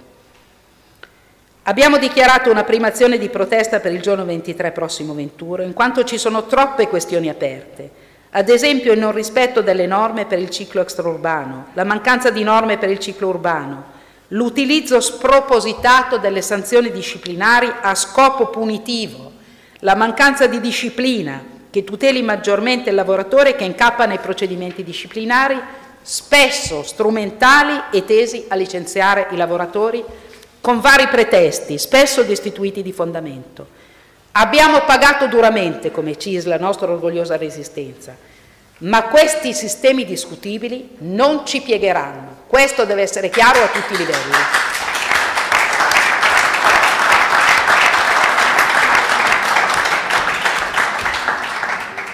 A Lodi stiamo affrontando un grosso impegno che ci vede in prima linea nell'armonizzazione di tre contratti aziendali relativi a tre società, Line, PMT e Star, le tre società da gennaio sono confluite in un'unica società, Mobility Star. Mobility Star. Un percorso difficile, con l'aggravante di un portafoglio ridotto. Abbiamo già affrontato alcuni temi, con uno sviluppo delle trattative che ci vede proiettati a voler armonizzare i tre contratti aziendali, molto diversi tra di loro, ma che ci fa sperare di poter addivenire ad un risultato positivo per i lavoratori che operano nella nuova società. Per quanto concerne le autostrade presenti in provincia di Pavia e Lodi, A21, A1 e A7, attraverso le stazioni di svincolo persistenti nel territorio, le relazioni sindacali attengono per lo più alla struttura regionale e alle rappresentanze aziendali di ogni singola realtà. In questo settore è possibile fare due considerazioni importanti. La prima inerente al lavoro, che ha visto il protagonismo della nostra organizzazione sindacale al fine di garantire la tutela delle retribuzioni comprese quelle accessorie, dei lavoratori delle singole aziende, pur nel periodo più pesante della pandemia, con un traffico veicolare autostradale ridotto ai minimi termini. La seconda, relativamente all'impegno profuso sul tema della sicurezza, sia degli operatori che dell'utenza in transito sulla rete. Ribadiamo ancora una volta i risultati estremamente positivi della sperimentazione, fortemente voluta e perorata quasi esclusivamente dalla nostra struttura sindacale della banda sonora in fresatura sul secondo tronco di Aspi Autostrade, che ha visto registrare un dato del calo di circa il 40% in meno di incidentalità sulle tratte considerate. A fronte di risultati tanto positivi ci saremmo aspettati che la sperimentazione venisse implementata, fatto che per ora non si è realizzato ma come CISL saremo sempre presenti e attenti ad azioni volte a garantire la sicurezza dei lavoratori che rappresentiamo. Per quanto concerne il settore del turismo, della ristorazione, dell'assistenza alle persone, della guardiania e del pulimento, il ragionamento è forzatamente articolato e composito, anche perché il settore dei servizi è il più corposo in termini di aziende attive sia in provincia di Pavia sia in provincia di Lodi. Cominciando col settore sociosanitario sono presenti circa 80 RSA in provincia di Pavia, mentre in provincia di Lodi ce ne sono 17. È di fatto questo un settore strategico per il territorio. Abbiamo visto i dati inerenti alla popolazione. Circa il 25% delle nostre popolazioni ha un'età superiore o pari a 65 anni e questo dato è in costante aumento. Riteniamo pertanto che il settore nei prossimi anni subirà un'ulteriore implementazione. Per questo sarà fondamentale presidiarlo con l'attenzione che merita. Le RSA si sono svuotate a causa del Covid. Le perdite di vite umane sono arrivate a sfiorare in alcuni casi il 50%. Il 50% degli ospiti è mancato all'interno dell'RSA nella prima parte della pandemia. Con un crudele gioco del destino, le strutture che sono state risparmiate dalla prima ondata hanno subito perdite ingenti nella seconda. Per fortuna le vaccinazioni massive e le attenzioni profuse hanno arrestato il fenomeno delle morti nelle strutture, che attualmente molto lentamente e con fatica stanno tornando a regime. Oltre alle difficoltà di trovare gli ospiti, si aggiunge il problema di reperire il personale da parte delle cooperative, in particolare infermieri, ASA e OS. Nel caso degli infermieri la difficoltà è dovuta alla ripresa delle assunzioni nelle strutture pubbliche per le ASA e le OS, in parte per l'apertura dei bandi negli ospedali e in parte per il blocco dei corsi di formazione e riqualificazione. È chiaro che il rischio sia di sommare emergenza ad emergenza. Relativamente al turismo ricettivo, sul territorio di Pavia ci sono 635 strutture ricettive, mentre su quello di Lodi ce ne sono 196. Il territorio è diviso in due realtà diverse, Pavia città e prima periferia, che ha come clienti principali gli studenti universitari e parenti dei degenti, ricoverati negli ospedali della città. A causa del Covid tutto si è azzerato. Gli albergatori hanno chiuso e in alcuni casi non hanno ancora riaperto. La seconda realtà legata all'oltrepo pavese ha risentito dell'impossibilità dei turisti di muoversi sul territorio. Il rischio in questa fase di ripresa delle attività è di non avere più quella capacità attrattiva che si aveva prima della pandemia. I ristoranti hanno anch'essi subito danni pesanti, dovuti al fermo delle attività e alla confusione creata dal susseguirsi di decreti, a volte contraddittori tra loro. Solo adesso, grazie alla campagna vaccinale e all'introduzione del Green Pass, il settore si sta riprendendo. Stessa sorte toccata alla ristorazione veloce, con l'aggravante che in questo caso c'è l'utilizzo dello smart working da parte delle aziende del terziario avanzato e della pubblica amministrazione. L'avvalersi di questa modalità di lavoro sta passando dall'essere una prassi emergenziale a una prassi consolidata, andando così a diminuire fortemente la clientela. Per quanto riguarda la ristorazione collettiva, le mense, se escludiamo quelle ospedaliere, che hanno sempre lavorato per garantire i pasti ai degenti e agli operatori, sono a tutt'oggi in un limbo le altre, fatto di incertezza, quelle scolastiche e quelle che vivono di aziende industriali. Anche nel settore del pulimento dobbiamo fare dei, dei distingui. Il pulimento ospedaliero e le strutture sanitarie non hanno risentito dopo dell'emergenza. Discorso completamente diverso per il pulimento nelle industrie e nella pubblica amministrazione. Per quanto riguarda il commercio, gli esercizi alimentari e i piccoli e medi supermercati sono rimasti sempre aperti, grazie alle deroghe previste dai vari DPCM, garantendo l'approvvigionamento dei beni di prima necessità, salvaguardando di fatto parte del fatturato e garantendo il mantenimento dei posti di lavoro. Anche questa categoria di lavoratrici e di lavoratori è stata sempre attiva e presente sui posti di lavoro, nonostante il rischio presente, soprattutto nel primo periodo della pandemia. A loro va il nostro ringraziamento, esattamente come siamo grati a tutte le altre categorie che hanno nei periodi più bui prestato il proprio servizio con grande abnegazione. Il commercio no food ha subito perdite imponenti e parte dei guadagni persi sono andati in favore del commercio digitale. Ragionamento a parte per le grandi superfici, gli ipermercati erano già in crisi prima, hanno visto peggiorare le situazioni. Le motivazioni sono da ricercarsi nei cambiamenti della società e nel diverso stile di consumo che si sta affermando. Però credo che tutti dobbiamo riflettere sull'e-commerce. Già prima della pandemia il commercio online stava erodendo il fatturato del commercio classico. Basta vedere i dati degli ultimi anni. Mentre il commercio tradizionale stentava a mantenere le quote di mercato, il commercio digitale aumentava i volumi in modo esponenziale. Il Covid ha fatto sì che si avvicinassero al commercio digitale utenti che prima effettuavano i loro acquisti in modo tradizionale, facendo decuplicare i proventi dell'e-commerce. Ora il rischio è che con la fine della fase emergenziale buona parte dei consumatori continuino ad acquistare sulle piattaforme online, abbandonando gli acquisti effettuati nei canali tradizionali con un ulteriore impoverimento del tessuto commerciale classico, che si potrebbe tradurre in una perdita di posti di lavoro. Siamo consapevoli che il futuro non si può fermare, ma si può indirizzare, ad esempio facendo sì che questi giganti del web applichino dei contratti appropriati ai propri lavoratori. Questo è uno specifico compito come organizzazioni sindacali e che paghino le tasse in modo equo e adeguato e soprattutto nei paesi dove sviluppano i volumi di affari invece di versarli in paesi che fanno una tassazione di comodo. Per quanto tiene il settore della carta, della stampa, della cartotenica, la congiuntura internazionale, come per molti altri comparti, mette a rischio un settore già fortemente colpito e dalla pandemia che stava lentamente riprendendosi. Non solo i rincari energetici rendono le produzioni non economiche, ma anche la difficoltà a reperire le materie prime stanno rallentando progressivamente l'attività se il settore della carta, come dimostrato in piena pandemia, è riconosciuto come strategico ed essenziale per il Paese, allora deve essere fatto oggetto di provvedimenti mirati per salvaguardare il comparto produttivo.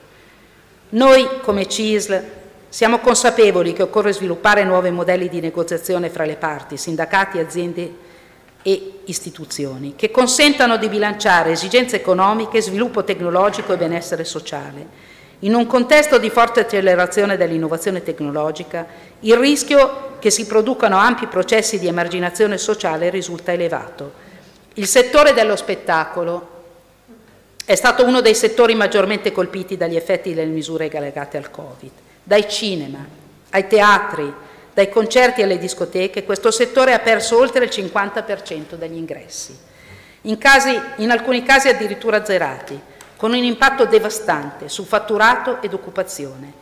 È caratterizzato da molteplici figure professionali, addetti alle troupe, dipendenti tecnici e artistici, dipendenti radio e tv, con circa 19 contratti collettivi. È certamente un mercato del lavoro molto variegato e particolare, in cui le norme previste per l'industria tradizionale mal si conciliano con un sistema di contratti così ampio e disomogeneo. Come CISL dobbiamo intervenire su più aspetti, dai corsi di formazione specifica per i lavoratori, dal contrastare il lavoro nero con la revisione delle regole di divisione delle carriere e dal creare tutele previdenziali per i lavoratori discontinui. Per quanto attiene le banche e gli istituti di credito, la situazione si è fatta davvero preoccupante per i lavoratori. Le principali problematiche riguardano le tensioni occupazionali, L'eccesso delle pressioni commerciali, alcune gravi crisi aziendali, le continue modifiche degli assetti normativi, organizzativi e societari. Ma la deriva del settore riverbera gravi effetti anche sulle famiglie, le aziende e i territori. È in corso una vera e propria desertificazione sociale ed economica che investe tutto il Paese, con il progressivo abbandono delle filiali fisiche da parte dei grandi gruppi bancari, la cui prima conseguenza è sempre più palese scadimento del servizio alla clientela con tensioni che spesso si scaricano sui lavoratori. D'altro lato questo progressivo ritiro delle banche dal tradizionale radicamento territoriale crea anche un ampio spazio di manovra per la criminalità organizzata, che in modo sotterraneo ma invasivo si propone come una sorta di surrogato dell'attività di intermediazione creditizia con ovvie e pericolose conseguenze. A titolo di semplificativo vi cito una percentuale. Il 35% dei comuni sono sprovvisti di uno sportello bancario a seguito delle costanti chiusure e ristrutturazioni. Con la pandemia causata dal Covid-19 ancora in corso, Posta Italiane si è riconfermata la prima azienda del Paese. A Pavia comunque e a Lodi, nonostante l'assunzione di parecchie unità di personale, il turnover è ancora troppo lento, permangono problemi di organico già rilevati e segnalati da diversi mesi con difficoltà di apertura degli uffici postali, con un servizio alla cittadinanza non sempre all'altezza e con conseguenze problematiche che ricadono in ultima battuta sul personale rimasto. L'azione della nostra federazione è vigile e costante e si può constatare dal numero delle loro adesioni. Per quello che riguarda la nostra federazione che si occupa dei lavoratori somministrati, autonomi e atipici, la cooperazione con le federazioni si sta rivelando il vero valore aggiunto. Procede sempre meglio nella maggioranza delle situazioni, considerata anche la disponibilità alla collaborazione delle nostre federazioni, che hanno compreso l'importanza di estendere tutele ed accordi ottenuti anche ai lavoratori somministrati presenti nelle aziende. Sono stati anche stipulati accordi di programma tra le nostre federazioni. Il nostro territorio vanta una prestigiosa università, nata nel 1361. L'Ateneo più antico della Lombardia è uno dei più antichi del mondo. Come CISL siamo presenti per rappresentare le lavoratrici e i lavoratori dell'università, ma anche per portare le nostre idee e il nostro apporto durante le riunioni degli organismi, sempre con atteggiamento costruttivo e consapevoli dell'importanza che l'università riveste nella nostra provincia.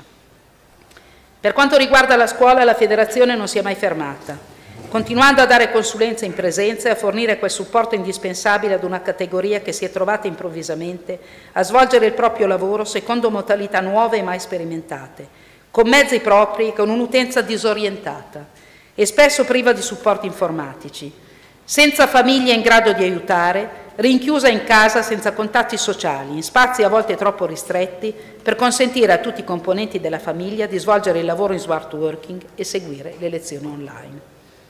Sono state inventate le formule più varie, pur di coinvolgere gli alunni e, far perdere, loro il, e far perdere loro il meno possibile. Nonostante gli sforzi profusi, però la didattica a distanza ha lasciato un segno decisamente negativo negli alunni più fragili e la ripresa quest'anno in presenza, che noi come CISL abbiamo fortemente voluto, si è svolta tra mille difficoltà, con numerose fermate forzate a causa dei contagi. La nostra funzione pubblica si occupa di una molteplicità di realtà.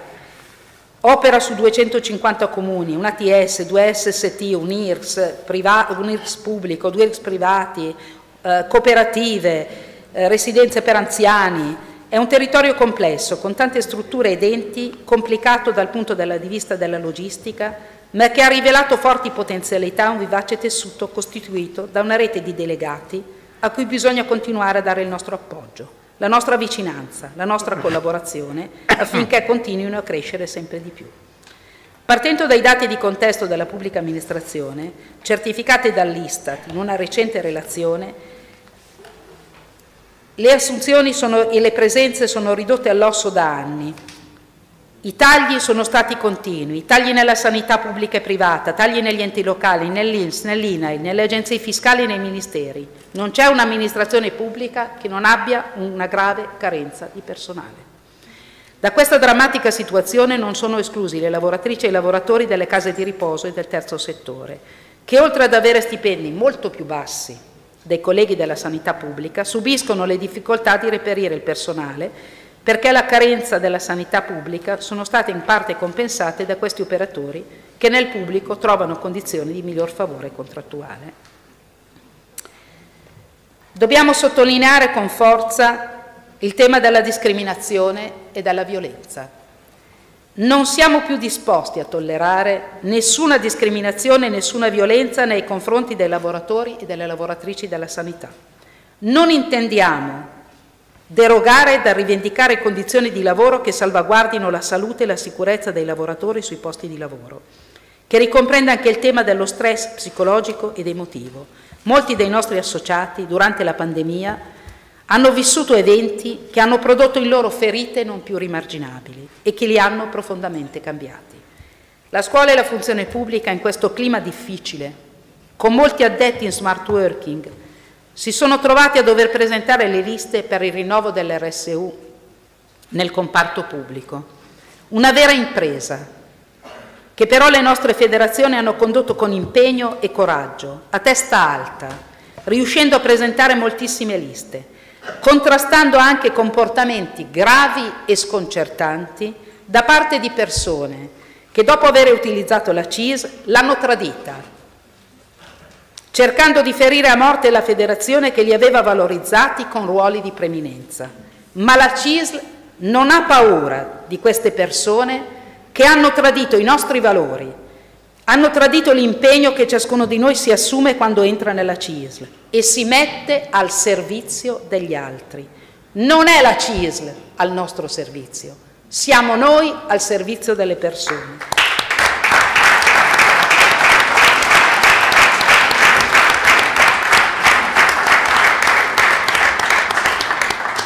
La CISL andrà avanti e chiedo a tutti, a tutti i cislini presenti e a tutte le persone presenti, esclusi gli altri sindacati ovviamente, di essere al fianco dell'università, della Ciscuola e della funzione pubblica in questo importante momento. La buona riuscita delle nostre federazioni sarà il successo di tutti noi.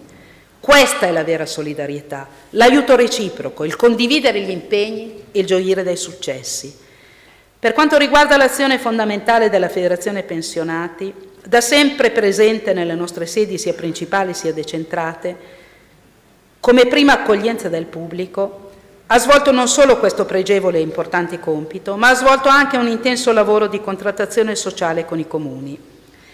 Nel Pavese gli accordi sottoscritti sotto molteplici forme sono stati 42, mentre nell'Odigiano ne sono stati sottoscritti 31. Un ringraziamento particolare va tributato da parte mia a Mario Marchesi e Antonio Floriano nel Pavese e a Claudio Lunghi per il Lodigiano.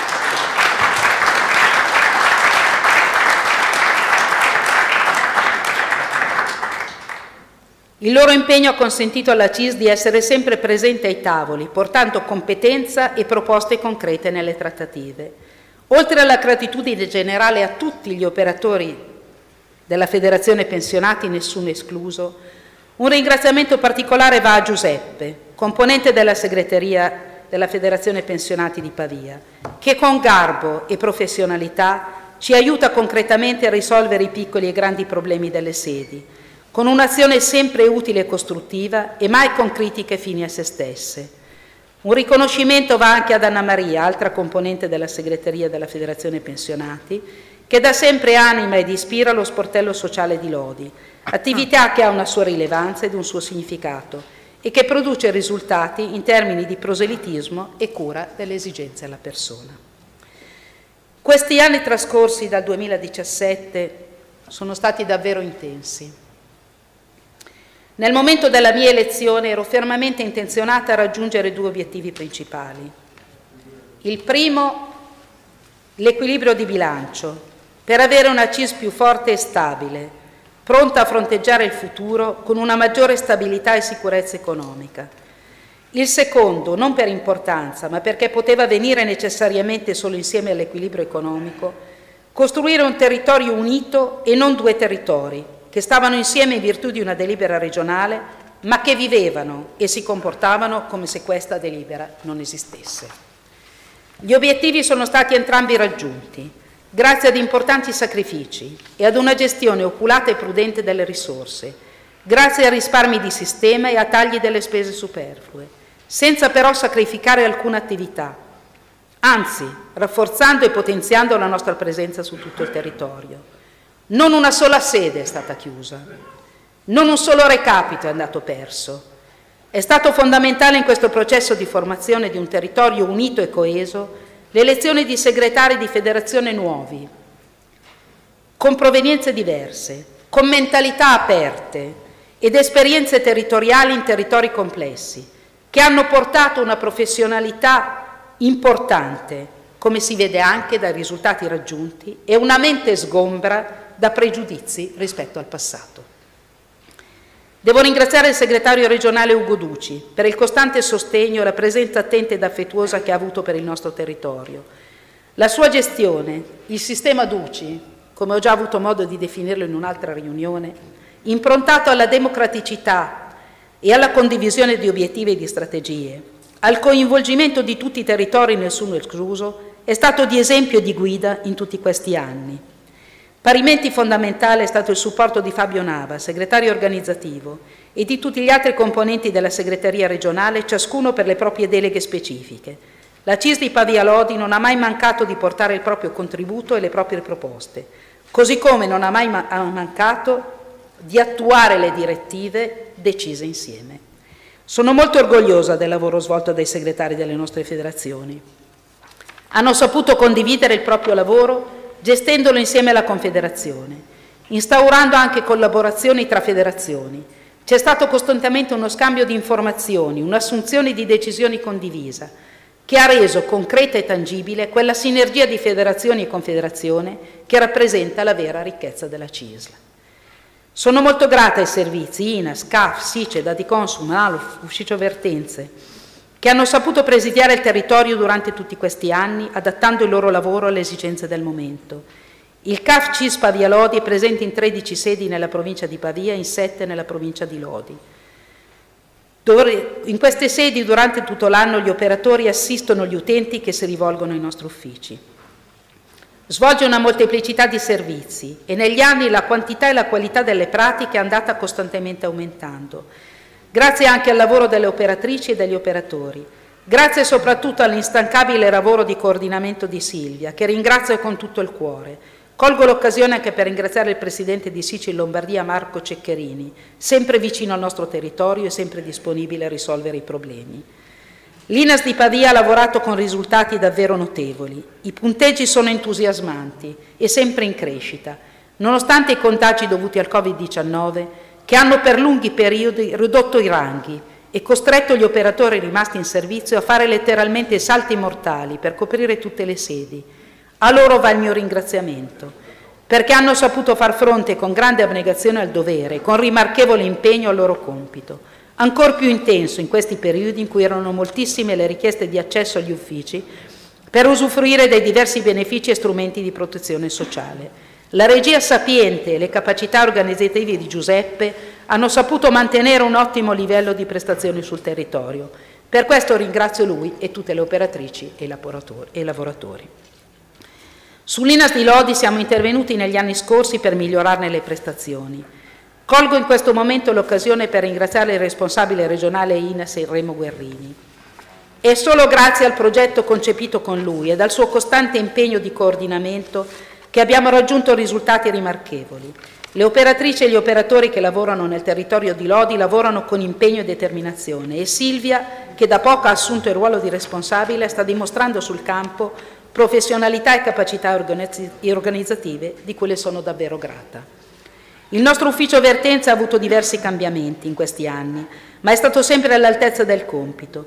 Ringrazio per il lavoro svolto Simone, che ora è entrato a far parte di una federazione, ma soprattutto il mio ringraziamento affettuoso e sentito va in particolare a Melina e Raffaella, che hanno dimostrato di comprendermi e di comprendere le esigenze della CISL con grande professionalità e serietà. Sono aumentate, secondo il loro report, le richieste di consulenza, finalizzate in gran parte a chiudere il rapporto di lavoro in essere e le vertenze si basano in prevalenza sul recupero dei crediti. Per fortuna non abbiamo riscontrato ad oggi un grande flusso di licenziamenti.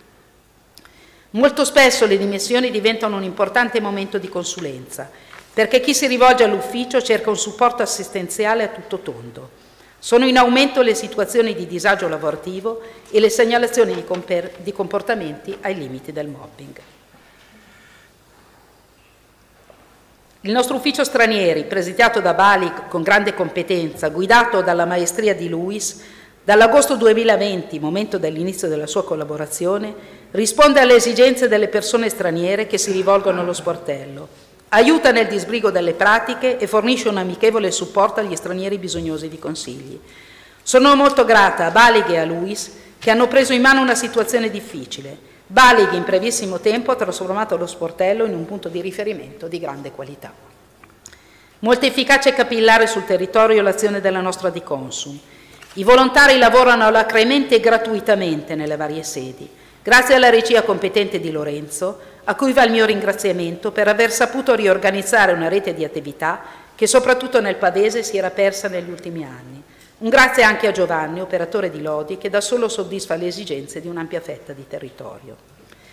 Il SICE di Pavia si occupa negli ultimi anni dei problemi degli inquilini. Storicamente in Italia la locazione resta in minoranza rispetto alla proprietà Ciò nonostante in locazione si trovino i nuclei più deboli della società, sicuramente meritevoli di una tutela e di una rappresentanza. In Italia non mancano le case, quasi 30.000 alloggi sfitti, contro meno di 25.000 famiglie in cerca di alloggio, ma esiste un evidente problema di incontro tra un'offerta molto più onerosa di una domanda a canoni più compatibili con la disponibilità economica delle famiglie. È quindi qui che si esprime la tutela del sindacato degli inquilini, sia nella contrattazione territoriale che nazionale, sia nella difesa e nell'organizzazione degli inquilini.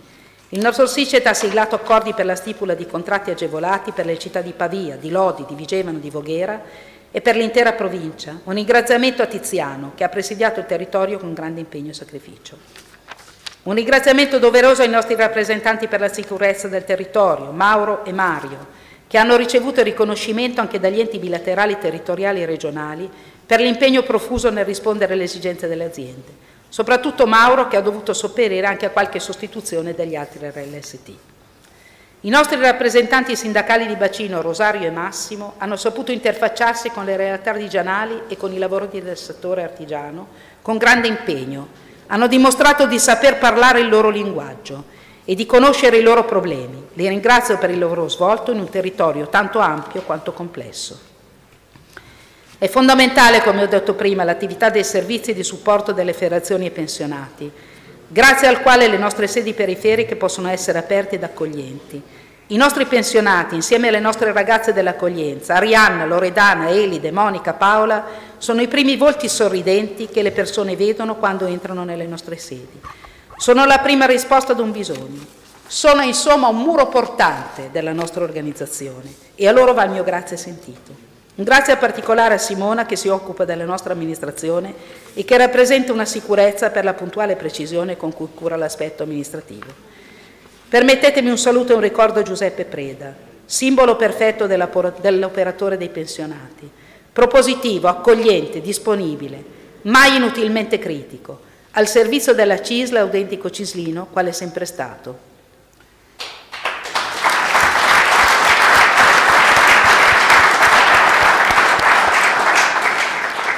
Sono certa che anche ora, dovunque sia, starà dandosi da fare per aiutare qualcuno. Come Confederazione abbiamo presidiato l'intero territorio, interfacciandoci con tutti i soggetti istituzionali, compito non facile se si pensa che molti livelli istituzionali sono doppi ed alcuni dipendono da Milano. A titolo di esempio l'ATS per quanto riguarda l'Odi, ma anche la Camera di Commercio. Non siamo però mai venuti meno al nostro compito. Nessuna riunione si è svolta senza di noi, nessun luogo istituzionale è stato trascurato. Sono stati sottoscritti in maniera unitaria importanti accordi, protocolli, accordi proposti e stilati documenti sulla sanità, sulla salute e sicurezza, contro la violenza. Abbiamo curato la formazione e la diffusione delle nostre idee e delle nostre proposte. Per quanto riguarda i rapporti con le altre organizzazioni confederali, come CIS di Pavia Lodi, Abbiamo sempre tenuto fede alla nostra convinzione che nessun soggetto sindacale ha diritto di sentirsi più sindacato degli altri e che la collaborazione, sempre auspicabile e importante, va perseguita nel rispetto reciproco. La linea comune, se è possibile, va costruita insieme. Se non è possibile, deve permanere il rispetto dell'altro. A livello nazionale ci sono stati diversi motivi di divergenza, anche sostanziali. Ho condiviso le posizioni assunte dal nostro segretario nazionale Luigi Sbarra, grazie al quale la CISL sta vivendo momenti di intenso protagonismo. A livello locale è prevalsa la collaborazione. Abbiamo cercato di privilegiare gli obiettivi comuni, a vantaggio delle persone che rappresentiamo e da fronte di problemi contingenti che necessitavano soluzioni condivise. Un esempio per tutti la gestione dei protocolli sulla sicurezza della pandemia. Con le parti datoriali abbiamo sempre intrattenuto rapporti leali e corretti, trovando sinergie comuni e condividendo proposte, nel rispetto reciproco del proprio ruolo. Abbiamo aderito ad azioni dirette sul territorio e condiviso progetti a favore dell'inclusione sociale. Con lo sportello lavoro siamo riusciti a trovare uno sbocco a persone disperate che si sono rivolte a noi in cerca di occupazione. Devo rivolgere un ultimo ringraziamento agli amici che mi hanno affiancato in segreteria in questi anni, Gianluca e Giovanni prima ed ora Stefano e Marco. Abbiamo sempre lavorato fianco a fianco, condividiamo le decisioni, socializziamo le preoccupazioni e immaginiamo le soluzioni, ma soprattutto siamo amici, nel vero senso della parola. Come ha detto Eleanor Roosevelt, molte persone entreranno e usciranno dalla tua vita, ma soltanto i veri amici lasceranno impronte nel tuo cuore e di certo loro lasceranno un'impronta indelebile nel mio.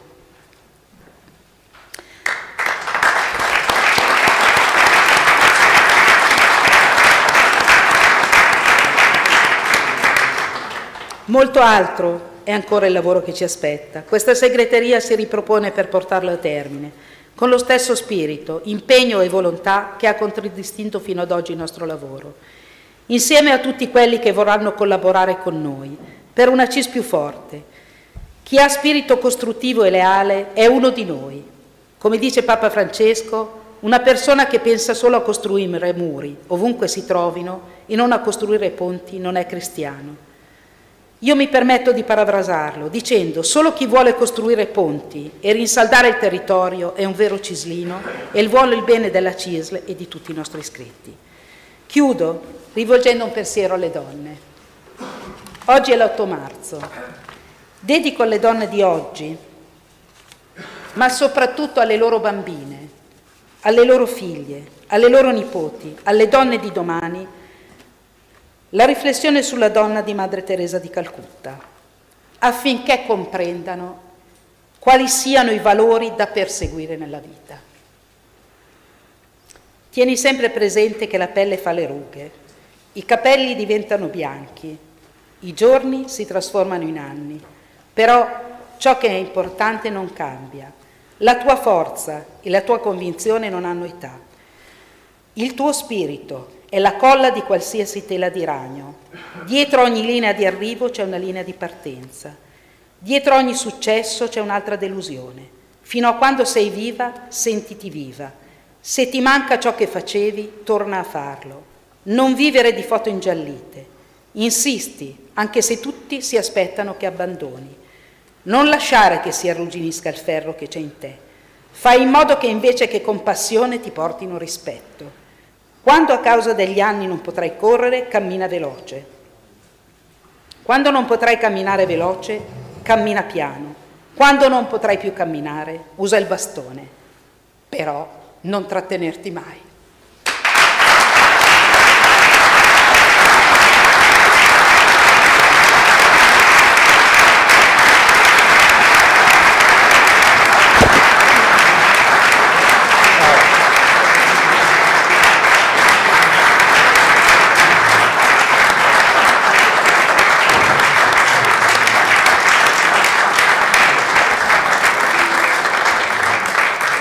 abrazo.